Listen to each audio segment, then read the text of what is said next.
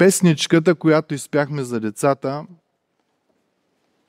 е страхотна. И между другото, ако искате да чувате най-чистото богословие, четете детски песни.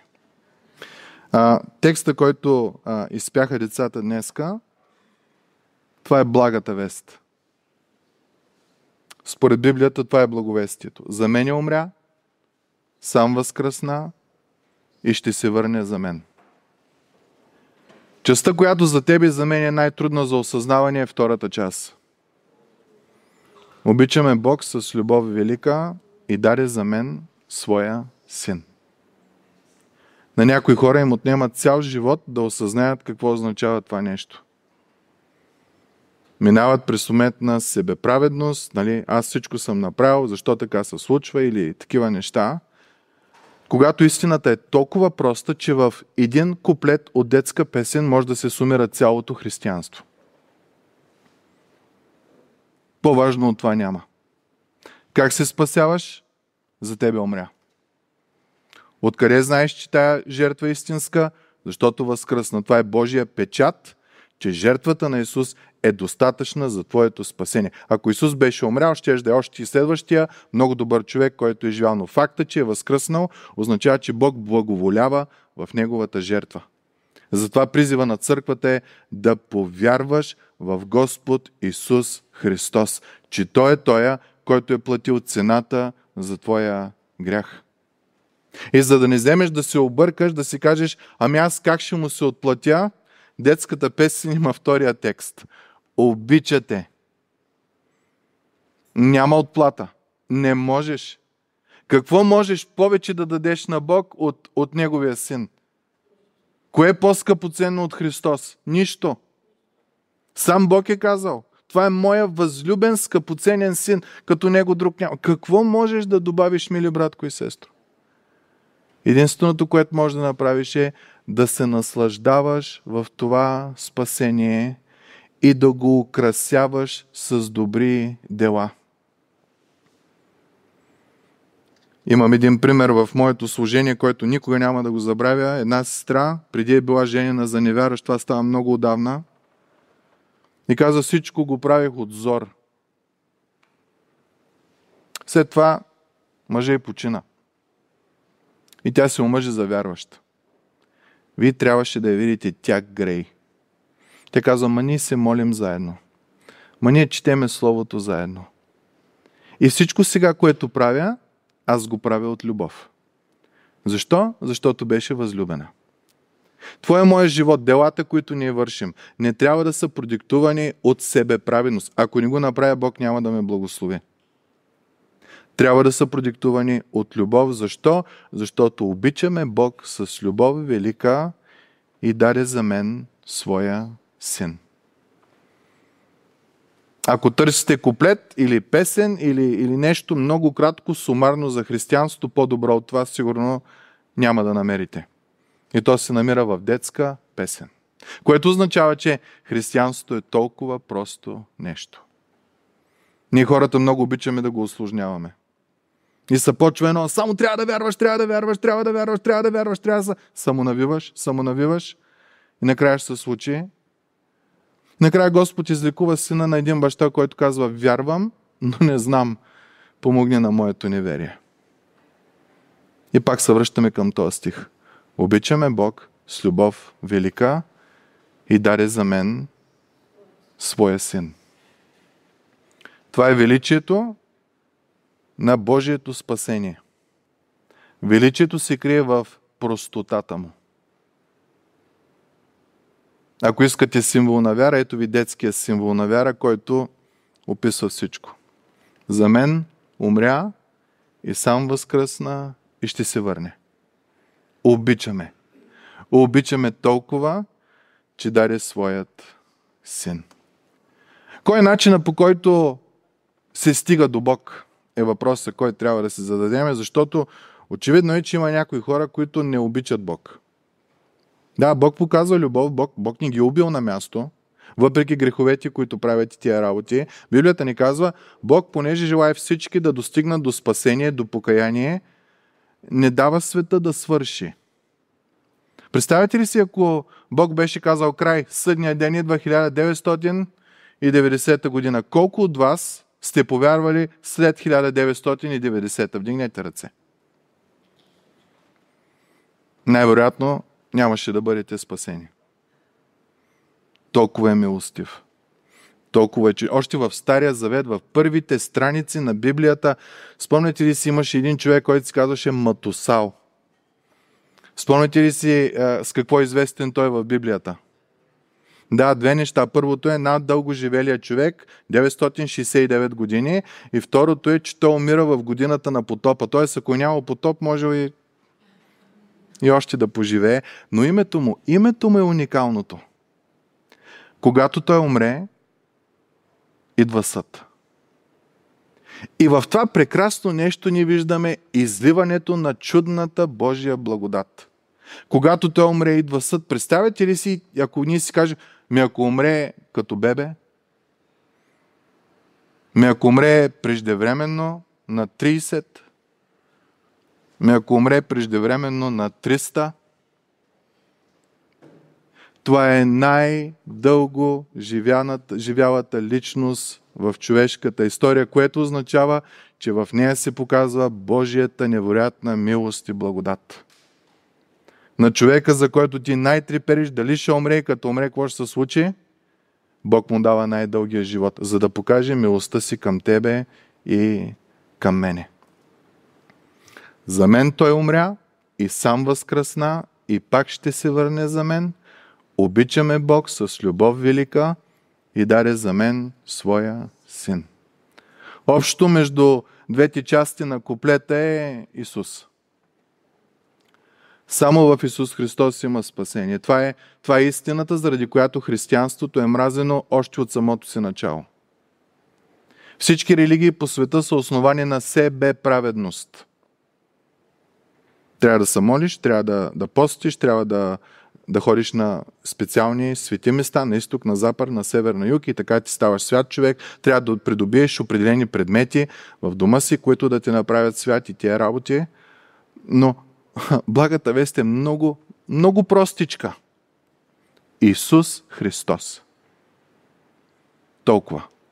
Павел, когато отиде в църквата в Коринт, Коринт беше, може би, след Атина, където са философите, Корин беше второто, а, как да кажа, място, където се събират всичките най-мъдри хора по това време, защото е била пресечната точка между източната част на империята и западната. За да отидеш от едната до другата, по кораб е било най-бързо, най-ефтино, трябва да минеш през Коринт. Така е бил направен по това време гарата, така е била морската гара, е била Корин Павел каза, когато дойдох при вас, аз реших да не знае абсолютно нищо друго, освен, че Христос умря за вас и възкръсна и ще се върне. И толкова ви обича, че даде сина си за мен. И знаете ли коринтияните какво казаха? Че Павел е, не говори хубаво, не говори добре, не е добър оратор. Павел казва, да, аз бях пред вас и треперех Имаме стих Деяния на апостолите, когато той е там, той прикарва година и половина и умира от страх от това, което става и Господ идва през нощта и му казва укрепвам те, не бой се, в този град има много хора, които са мои, т.е. много ще повярват от това служение. Наистина много повярват, като четеме а, историята. И Павел казва, аз не дойдох с някакви цветущи приказки. Това аз дойдох с днешната версия на нашата детска песен – Христос живя, умря за греховете ни и възкръсна на третия ден. Това е благата вест. Това е красотата. И всеки, който повярва или изповяда името Господне, ще се спаси. Толкова е проста благата вест. Толкова е прекрасна благата вест. За всеки е. Не е отредена по държави, не е отредена по националност, не е отредена по раса, не е отредена по пол. Абсолютно всеки има достъп до тая блага вест. Истината е детинска. Защото Господ иска всички да се спасят. Не умните, не красивите, но, но всички. Това върху което искам да поговорим за кратко днеска е... Но преди това трябва да ви покажа нещо прекрасно. Накрая ще го покажа. Теди ще ми напомня. Покаянието. Единственият път към Бога е чрез покаяние. И това е момента, в който ти и аз можем да имаме освежително време в Господа. Знаете ли какво правим? Ние живеем един живот много често, в който си знаем нашата рутина, знаем нещата, които са неудобни. Ако нещо стане различно, а, кипваме, притесняваме се, излизаме извън зоната си на удобство или комфортната си зона, както е модерен този, този а, израз в днешно време. Обаче искам да ви кажа, че Бог е специалист в това да ви наруши зоната на удобство. Защото накрая се оказва, че толкова ви обича, че даде за вас своя син, че не иска да живеете по начина, по който до сега сте живяли, т.е. за себе си, а иска да живеете за него. За някои хора това е проблем – Ама аз искам моето, искам да си гаврат на каквото си гавръткам, искам да си смокна каквото си смоквам, искам, искам, искам да си погледна сериалчето, искам да... И, и така ние си имаме едно удобство, един начин на живот, една рутина, която всъщност, като се замислим, изобщо не прославя Бог. Да, на нас ни носи удобство, на нас ни носи радост. Обаче искаме всяко благословение, което Бог може да даде, Даже някой път си ги избираме. Дай ми това, не ми дай другото. Както он е псалмиста. Не ми дай много богатство, не ми дай много и бедност. А, искаме Бог, ама искаме един килограм от Бог. Пък той е обещал да ни даде тежина на слава. Много интересна фраза. Ние, които всеки ден умираме, нашето външно естество е като глинен съд, като пръстен съд, който, който се скапва, който се чупи, който са такова. И обаче апостол Павел казва, не, не, вътре в нас има нещо невероятно, там е, там е съкровището. И нас, които следваме Бога и вървиме в Неговия път, и да, като глинени съдове, някой път като се щупиш, няма събиране – тебе, понеже си верен на Бог, те очаква тежина, тежест на слава.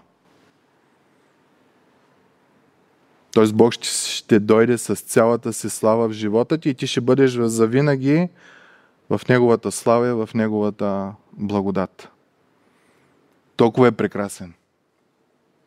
Толкова е чудесен. Жадува всеки един от нас да живее с Него.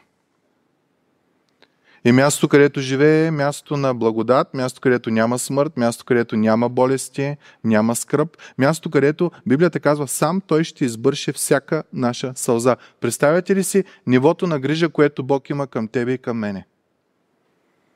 Тук дава своя син, докато сме на, на земята. След това, като повярваме, ни дава Святия Дух, който ни пази от всякакъв грях, т.е. откриване, кога имаме грешни навици и такива работи, изобличавана. Библията обаче казва, че някой път ние можем да, да угасиме духа.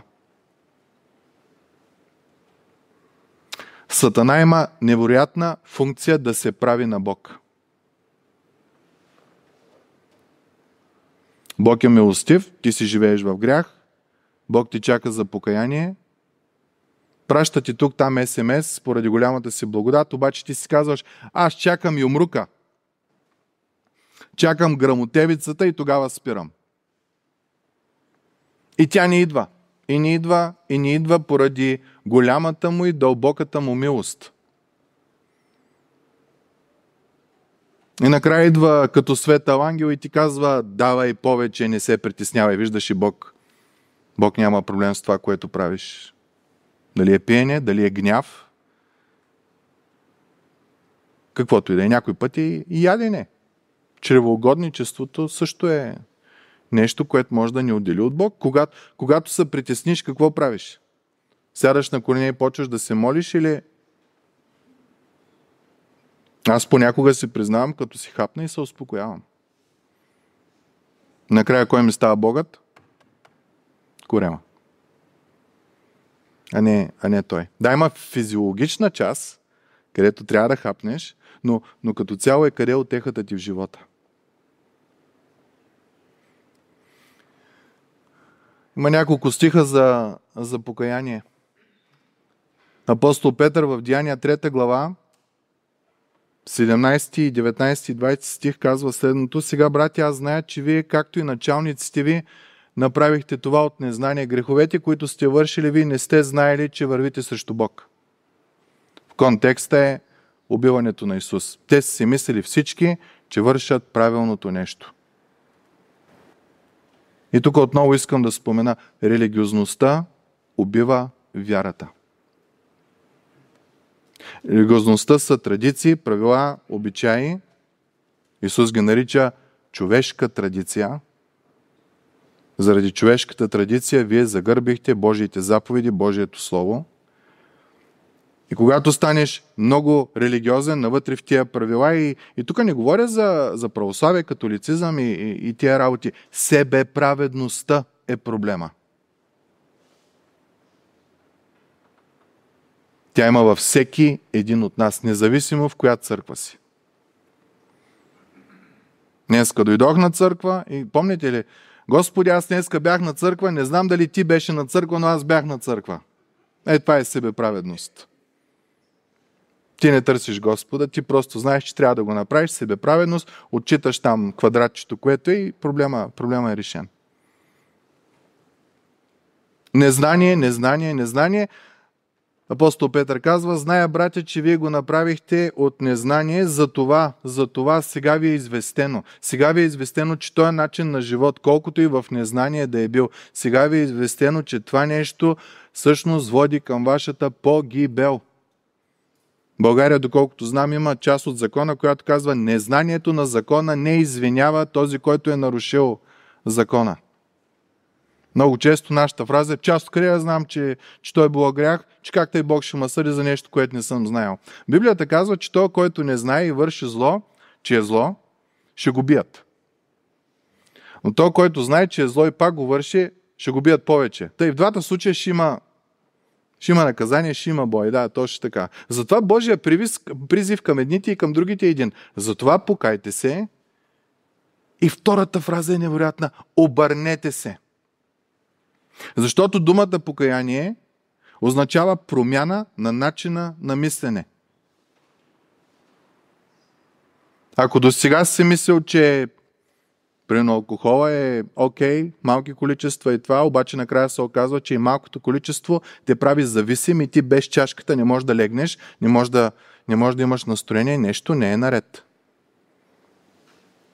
Така може и кафето и всички тия работи.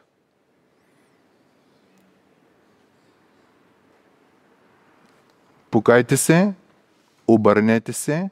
Защо? За да се премахнат враговете ви. Защо? За да дойдат освежителни времена. Откъде? От лицето на Господа. Някаква фраза да си спомните за лицето на Господа в Библията, където говори за това нещо всяка служба, особено среди тия, завършваме с тая част.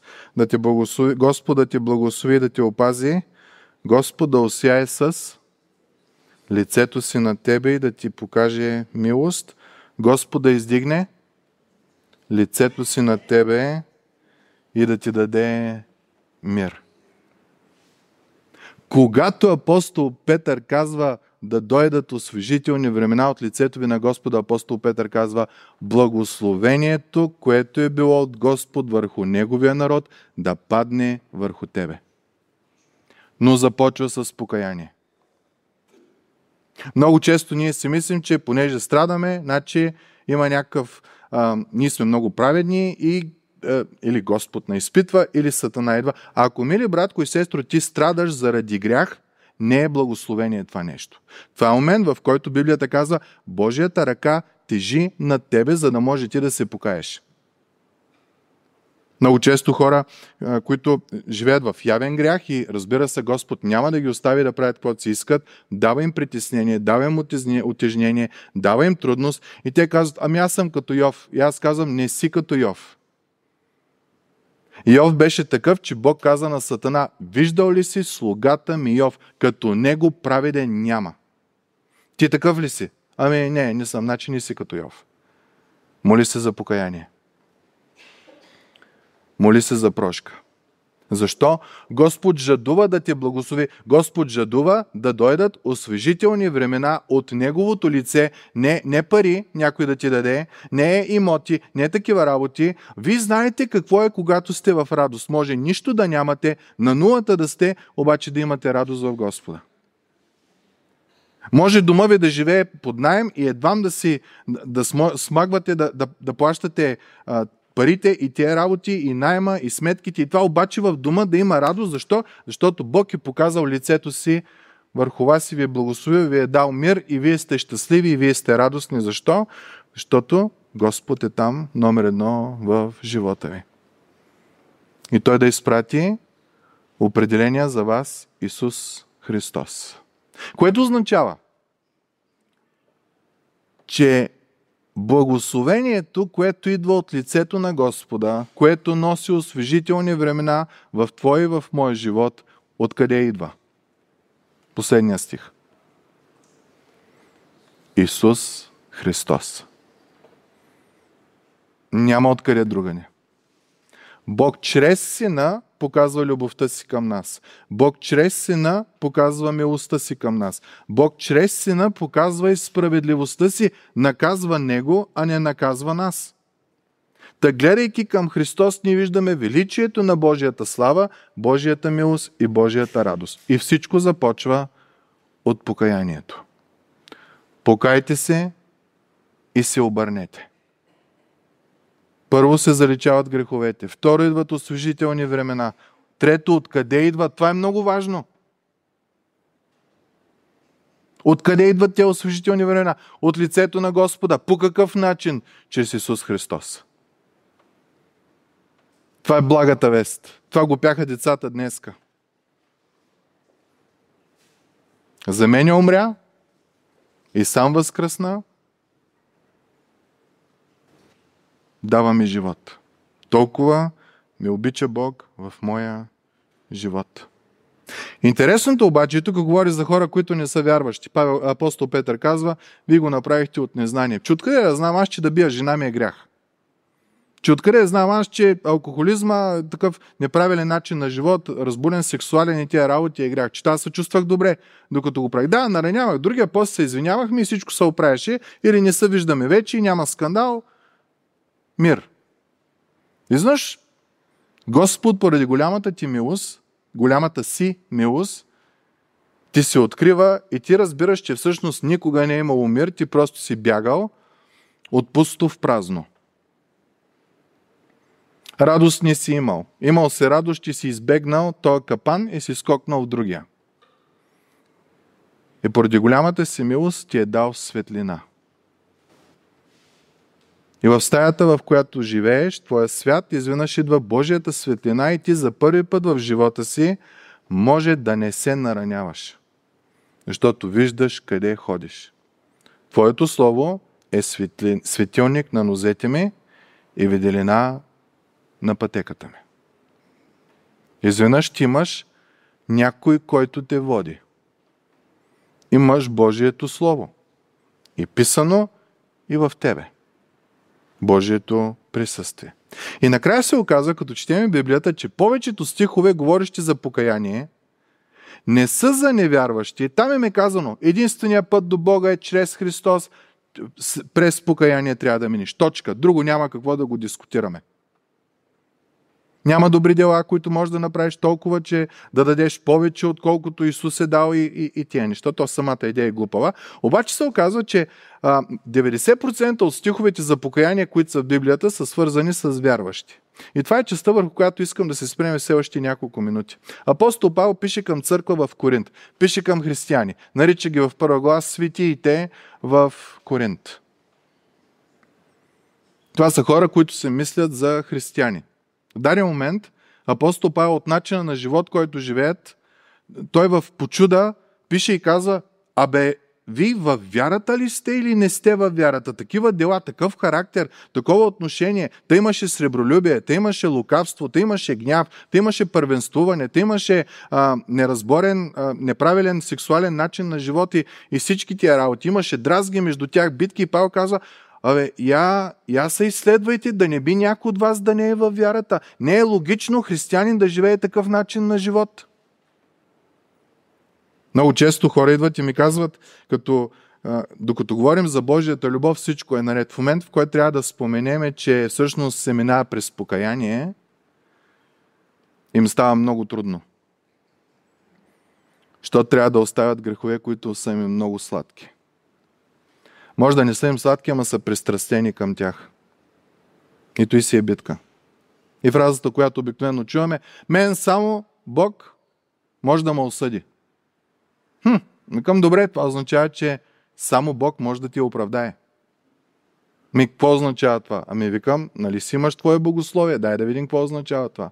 Ако само Бог може да те съди, само Бог може да те оправдае. Дай да видим как Бог оправдава. И пак навлизаме в същото. Благата вест. Защото ако Бог ти е съдята, той трябва да е то, който ти оправдава. Апостол Павел пише към църква, където в първо послание той много им се караше. Защото те правиха всички възможни грехове, които църквите правят, бяха в тая църква, което е много хубаво послание да го изследваме някой път. Написа им посланието и казва така. Преди това той им каза, да, това, което ви писах, ви наскърби. И някой път ние си излизаме от църква наскърбени. Той що говори така? Павел казва, сега се радвам, не че ви наскърби това, което ви писах, но друго, а защото наскърбяването доведе до покаяние. Пише към християни. Значи някой път е много хубаво да бъдеш наскърбен. Защото води до покаяние. Интересна е фразата, понеже скърбяхте по Бога. В ден момент ти осъзнаваш, че работата не е дали ми е хубаво или не ми е хубаво и затова аз да скърбя. В даден момент ти осъзнаваш, Абе аз вървя срещу той, който ме възлюби и даде своя син за мене.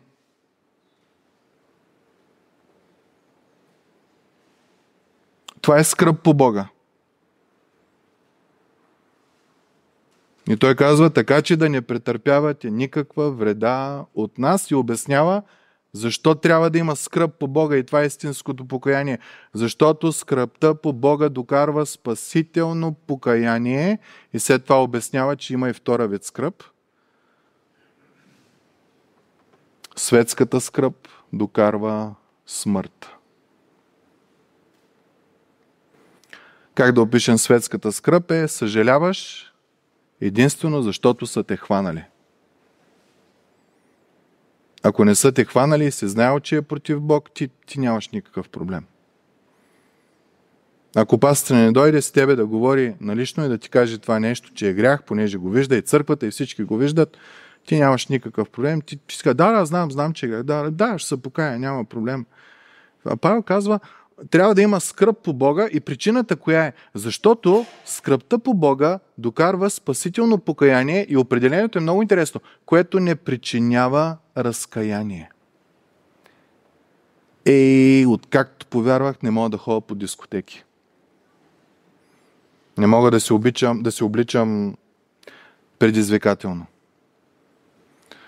Откакто повярвах, трябва да съм моля за враговете си не трябва да клюкаря. Пък това ми бяха най-сладките моменти с някои хора. Нали? Някой път, като, като изпаднем в заблуда до такава степен, а, споделяне на нужди, става едно клюкарене, клюкарене, че накрая се едно ви плувате в благодат, ама не, не е Божията благодат. Скръпта по Бога докарва спасително покаяние, което не причинява разкаяние. Си казваш, ей, ако не бях приял Бог, нямаше. Не, чуйте как продължава апостол Павел. Защото ето, това, че се наскърбихте по Бога, което беше истинското спасително покаяние, вижте какво е определението за спасително покаяние. Какво усърдие породи във вас и обяснява какво е усърдието. Първото е себеочистване. Усърдие да се очистиш от този грях. Много е важно това нещо, мили брати и сестри. Това е истинското покаяние. Да намразиш греха до степен, че да не искаш дори да го поглеждаш повече. Второто той казва, себеочистване, след това е какво негодование. Тук въпрос е към кое е негодование. Е, едно от значенията може да бъде, а бе как аз съм можел да живея по този начин, бе? Той сина си е дал за мен. Възлюби ме Бог с любов безкрайна и даде за мен своя син, а аз да живея по този начин. Не ме е срам. Кога е бил последния път, когато така сте мислили?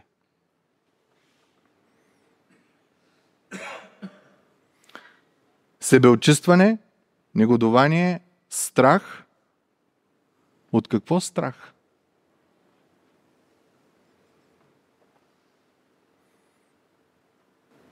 Аз искам да ви кажа точно това е, че страха е Господи Боже, толкова ли съм зле?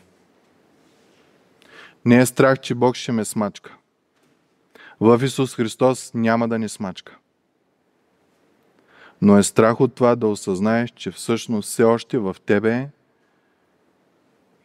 живее злото. Това някой път е такъв начин, който Господ използва за събуждане на някои християни, защото изпадаме в просъницата на нашата или летаргията на нашата себеправедност. Аз правя това, Бог прави това. Значи всичко е наред. И в даден момент, поради голямата си милост, Бог ти показва, че всъщност себеправедността не му е угодна. И тогава е момента в твоя живот, който ти изпадаш в страх и си казваш, ма нема е възможно пак да съм се объркал. Ма нема е възможно пак да слушам лъжлив учител и да се радвам на това нещо. Ма нема е възможно моя ум, който, който е осветен от Господа, отново да отиде в, в трета глуха. И да стигне до момент, в който аз не търся Господа, търся да се чувствам по-добре. И това е, това е свят страх, мили брати и сестри. Това е момент, в който Господ, поради голямата си милост, дава едно, как да кажа, един ток преминава, едно изтръпване преминава през вас, което ви събужда, защото от летаргията на този лагер имаше едно момче, което много трудно се събужда обикновенно. Алармата по 10 пъти. Се изключва, включва през 8 минути и тя работи. И аз го знам това и отидах в стаята и почнах да пляскам. Да викам, идва, идва и той почна да се запушва ушите. Не, не, болят му ушите, болят му ушите. Е, това е момента, където това изтръпване идва и той беше готов. Та някой път имаме нужда от страх, откъде? От скръп по Бога. Ма Господи, пак ли можах аз да направя такава глупост? И веднага се страх, вижте какви думи. Как Божието Слово изобщо не се притеснява да меша емоциите. Вие кога бихте сложили думата ревност, наказание на злото, страх, извинявайте, а, негодование, страх изведнъж купнеш. Така работи Бог в нас. Няма логика. Направо разбърква вътрешното ти естество. С една единствена цел – за да можеш да бъдеш угоден на Него. Какъв купнеш? И тук вече говори за едно единствено нещо. Каква ревност? Какво наказание на злото? Как наказваш злото? Чрез добро. Не се оставяй да ти побеждава злото, а ти побеждавай злото чрез доброто. Това е момента, в който твой ум трябва да осъзнае, че аз не правя това, наказвам злото, не защото Бог ще ми набие, а защото То е зло. И начина по който го правя е, като имам купнеж и ревност. Ревнувам за доброто. Ревнувам, Господи, как може, как може, Господи, аз, Твой човек, да чета Твоето Слово, да вървя в Твоя път, да се събирам с християни, да говоря за Тебе и накрая, Господи, аз, аз пак да се объркам. И какво поражда това в Тебе? Ревност и купнеш и наказване на зло. Повече няма да го правя това нещо. Повече няма да слушам това. Повече няма да гледам това. Повече чашката няма да е такова. Повече няма това. Повече няма от това. Но всичко, отново, мили братя и сестри, трябва да започне с страх от Бога, скръп по Бога, защото скръпта по Бога е това покаяние, което довежда тия благословения. А ако само са те хванали, или Бог те е хванал и си изявил това нещо и ти не осъзнаваш, че имаш, че си наранил Бога, а просто, че Бог те е хванал, ти ще стигнеш отново до разкаяние, което казва текста и ще си кажеш, а, то, то аз си го измислих. Така. Един брат от църква ми споменава за, за негов роднина. Казва, когато е назор, ама молитви, спира и да, пише, да пуши, спира и да пие, всички тия работи спира, става свят, свят, свят и на църква понякога прохожда, в момента в който мине това и казва, а, аз и без Бог ще да се оправя. Това, това е текста. Не причинява разкаяние, истинското покаяние. А това, което е скръп, защото там се разкавиш, кажеш, а, а всички тия работи, дете, аз съм ги говорил, не са, не са толкова важни. Цар Давид дава един прекрасен псалом, описващ покаянието си. В момента, в който вие си спомняте, той се греши с Вецавее. Той много грехове имаше, но това беше толкова опасен, че Давид се самозалъга, доведе до смърт, доведе до убийства, доведе до, до много лоши неща. Дома му се разби всъщност след този грях.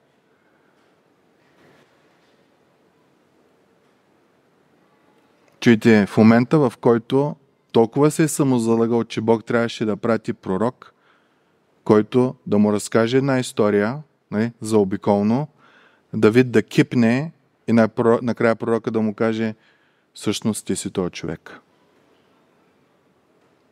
Когато Давид научава това нещо, искам да видите на, на дело и на приказка какво означава скръп по Бога. Това е Псалом 51.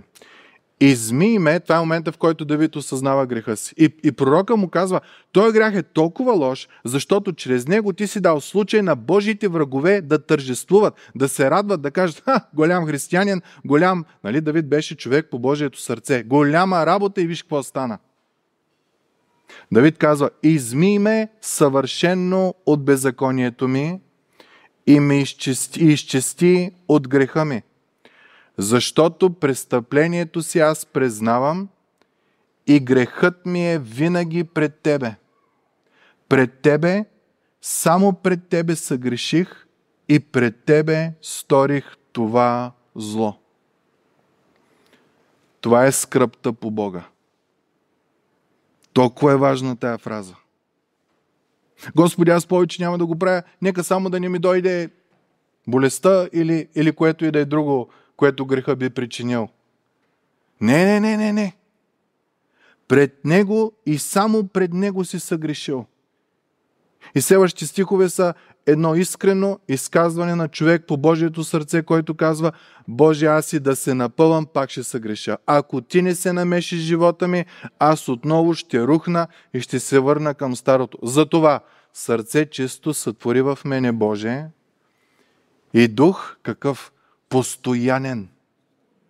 Виждали сте хора, които са палят за 15 минути или 5 дена или един месец за Господа и после дори в църква не можеш да ги намериш. Давид казва, аз съм такъв. Библията казва, над 400 песни за Бог е писал. Представете ли си какво е било в сърцето на този човек да напише толкова песни? Имаме около, може би, 70-80 в Библията. Не всички псалми са писани от него. То, то се пише на псалма, кой е автора. Като четете псалма, ви си казвате, ма този човек трябва да е обичал Господ, той трябва да е бил на, на, на върха на планината всеки ден. Не, Давид казва, аз също бях непостоянен. Верен на Бога, неверен на Бога. Верен на Бога, неверен. Уморих се, Господи. Наранявам те, наранявам те. Господи, пробвам с всичко, което мога. Книги чета, библейски изучавания чета, Библията чета и това. Но накрая разбирам, Боже, че ако ти не дойдеш в моя живот и не ме промениш, нищо няма да стане. Сърце чисто сътвори в мене, Боже, и постоянен дух обновявай вътре в мене. Да не ме отхвърлиш от присъствието си, нито да отнемеш от мене святия си дух – Върни ме радостта от моето спасение и освобождаващия дух нека ме подкрепи.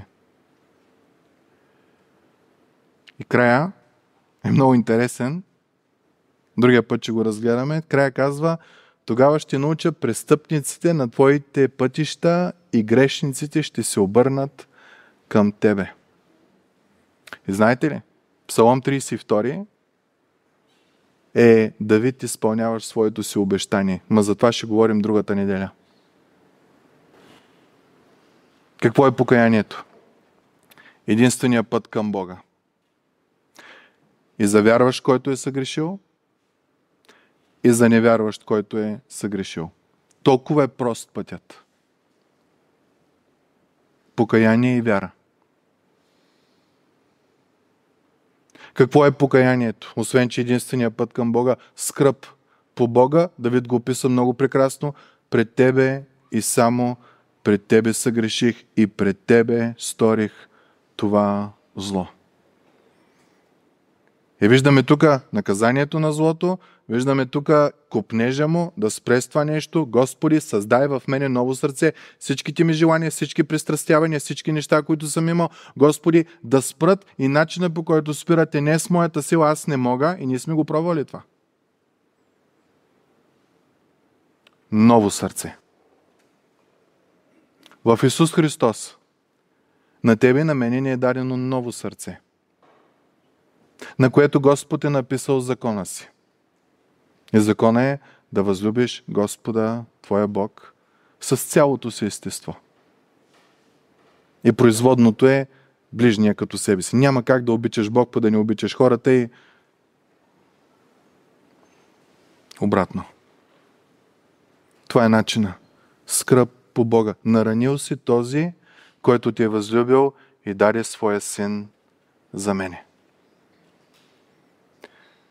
И аз бих искал като край да, да завършим с детската песен.